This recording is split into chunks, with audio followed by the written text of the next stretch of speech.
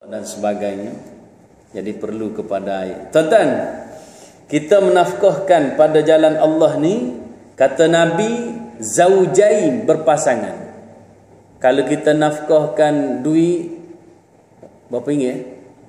Ah dua ringgit. Kalau dua puluh, ah pun sama. Mana dia dua puluh kan? Dua. Kalau dua ratus, ah pun sama. Nah, kalau kita nafkahkan uh, nasi. Takkan dua bungkus ke?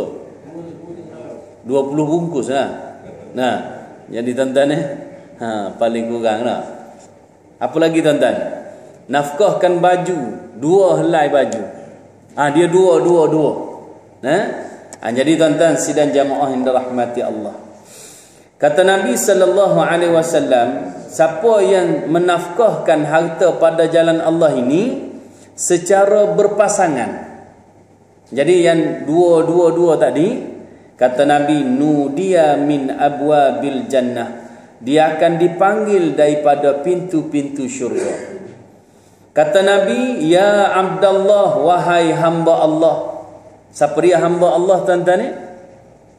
Siapa dia hamba Allah? Ha, kita alhamdulillah. Nasib baik abang ada wakil untuk jawab. Takut ada yang hamba syaitan tuan-tuan. Naudzubillahi min zalik tuan-tuan. Jadi tuan-tuan sidang jamaah yang dirahmati Allah. Tuan-tuan kata Nabi wahai hamba Allah ya Abdullah hadza khair. Wahai hamba Allah ini adalah satu kebaikan. Apa dia kebaikan nafkahkan pada jalan Allah. Ha?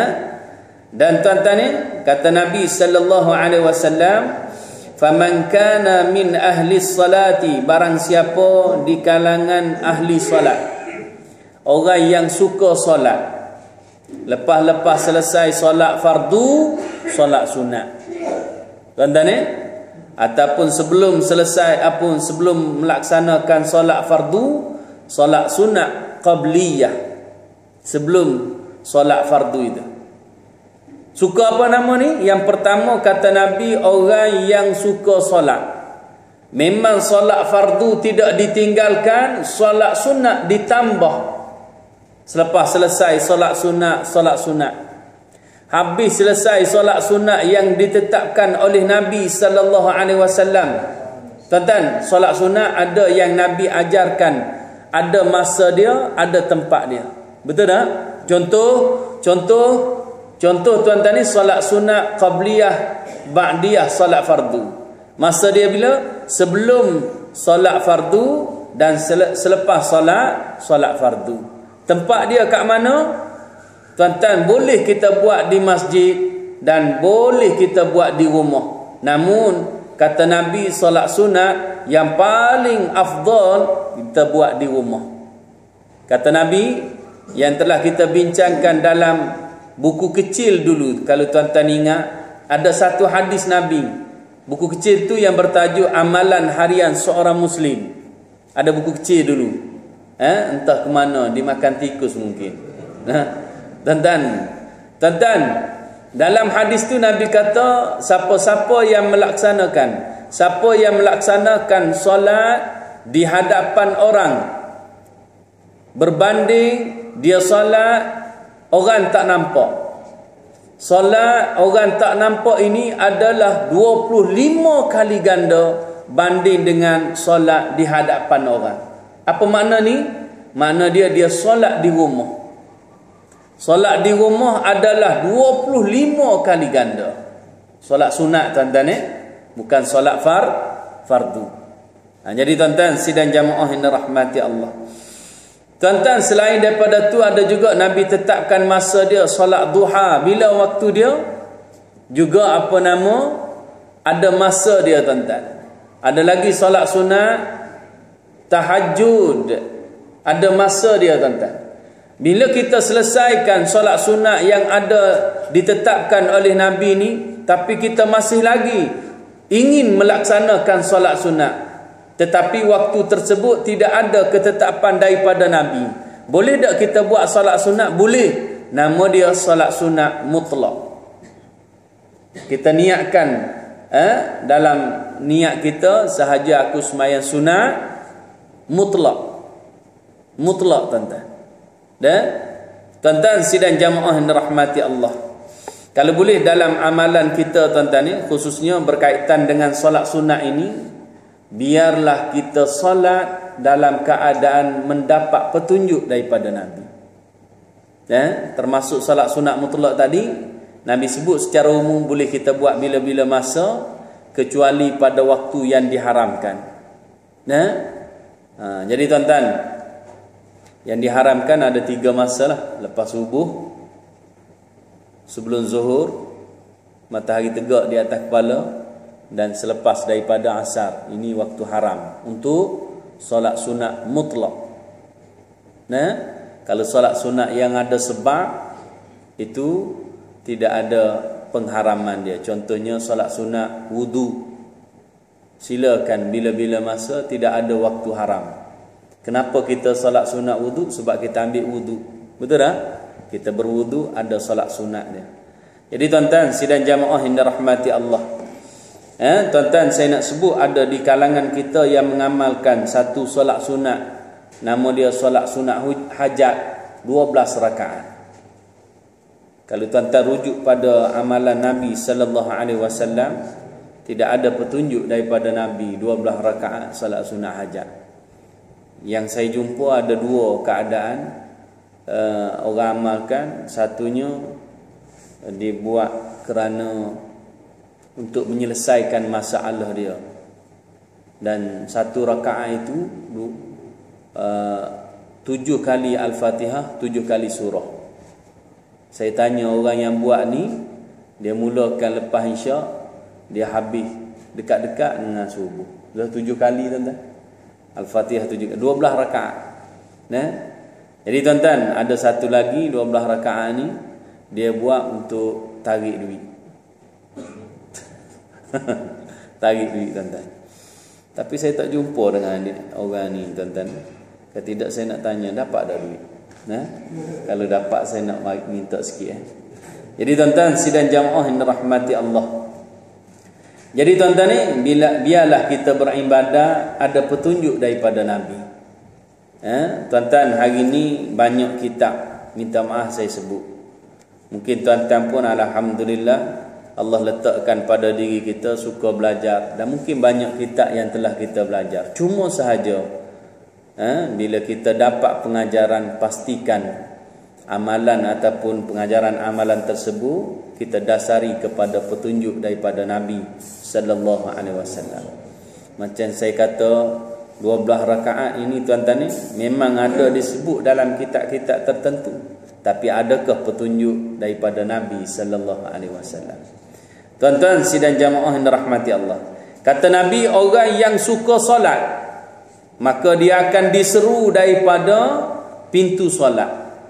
Di syurga nanti ada pintu solat tuan jadi orang yang suka solat eh, akan dipanggil untuk masuk syurga melalui pintu solat. Siapa yang suka solat siapa yang suka solat dipanggil daripada pintu pintu solat kata Nabi tuan-tuan yang kedua kata Nabi siapa yang suka berjihad di jalan Allah maka akan dipanggil daripada pintu syurga pintu jihad.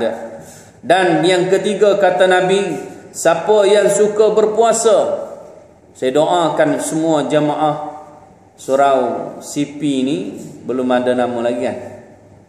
Belum kan? Dah ada nama? Belum? Nah payah-payah nak buat nama tuan-tuan ni buat nama saya pun tak apa surau marzuki jadi tuan-tuan sidang jemaah rahmati Allah. Ataupun buat nama pengurusi yang lama-lama lah tuan-tuan. Khususnya pengurusi yang banyak berjasa. Kalau pengurusi tak ada jasa tak payahlah. Nah muka pun tak datang eh? Pagi ni je kot jadi tuan-tuan sidang jamaah yang dirahmati Allah. Tuan-tuan saya doakan mudah-mudahan kita semua dipanjangkan umur oleh Allah uh, sampai kepada Ramadan tahun ini amin Amin ya rabbal alamin. Jadi tuan-tuan, kenapa pentingnya kita doa biar sampai Ramadan? Tuan-tuan, Ramadan penyebab kita akan masuk syurga. Nah, Jadi tuan-tuan eh, mudah-mudahan Ramadan pada tahun ini oh panjang umur. Baru kutuk tadi. Jadi tuan-tuan sidang jamaah rahmati Allah. Jadi tuan-tuan uh, Ramadan tuan-tuan ni menjadi penyebab kepada kita masuk syurga Allah Azza wa Jalla tuan-tuan. Jadi sebab tu Nabi ajar pada kita, kita baca sama-sama tuan-tuan ni, Allahumma barik lana fi Rajabin wa Sya'ban wa ballighna Ramadan. Ya Allah berkatilah kami pada bulan Rajab dan juga Sya'ban dan sampaikanlah kami ke bulan Ramadan. Amin. Amin ya Rabb ya, ya Rabbal alamin. Tuan-tuan ada orang bila dia baca doa ni dia rubah daripada uh, bila masuk sekarang dah masuk Sya'ban. Maka dia kata Allahumma barik lana fi Sya'ban wa ballighna Ramadan. Tinggal Rejab. Nah, sebab dia kata bulan Rejab lepas dah. Nah, tuan-tuan sidang jamaah rahmati Allah. Kita kadang-kadang lebih bijak daripada Nabi sallallahu alaihi wasallam. Suka-suka rubah. Nah? Dan Nabi ajar macam tu bacalah tuan-tuan. Dan adakah bulan Rejab tu akan lenyap terus? Tidak. Nah? Walaupun dia telah berlalu tuan-tuan eh? mudah-mudahan Allah berkati kita dan mungkin Rejab akan datang. Allah berkati lagi tuan-tuan. Ya? Tuan-tuan baca. Kalau Nabi ajar macam tu baca, baca macam tu lah. Nah? ha, kita dah bila dah lenyak dah apa nama rejab ha, tak payah lagi doa untuk rejab. Ya? untuk syakban lah sebab kita duduk dalam syakban. Tuan-tuan sidang jamaah yang rahmati Allah.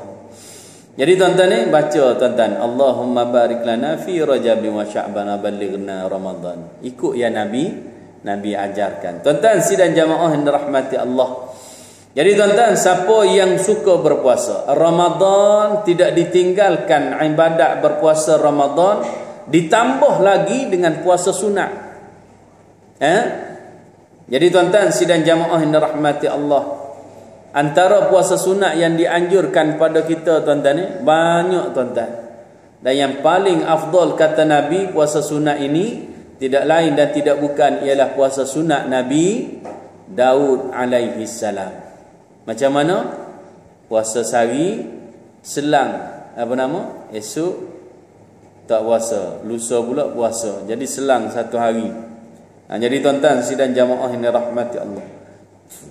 Tuan-tuan, orang yang suka berpuasa kata Nabi du'iya min babir rayyan. Dia dia akan dia akan dipanggil daripada pintu syurga yang bernama Rayyan. Tuan-tuan sidang jamaah yang dirahmati Allah. Kemudian kata Nabi orang yang suka bersedekah. Wa man kana min ahli sedekah. Siapa yang suka bersedekah, du'iya min babis sedekah. Eh, di akhirat nanti akan diserukan daripada pintu syurga pintu sedekah. Maka Abu Bakar As-Siddiq radhiyallahu anhu bertanya pada Nabi, "Bi abi anta wa ummi ya Rasulullah?"